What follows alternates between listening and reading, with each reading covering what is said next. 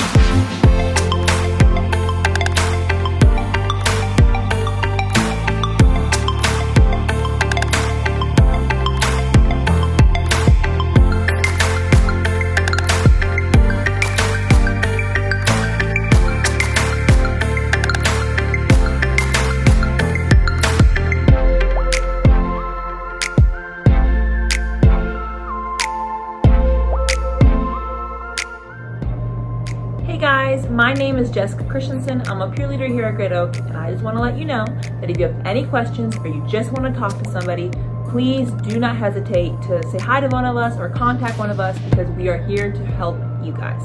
Um, so hopefully I get to see you guys in the in person in the near future. Okay, bye.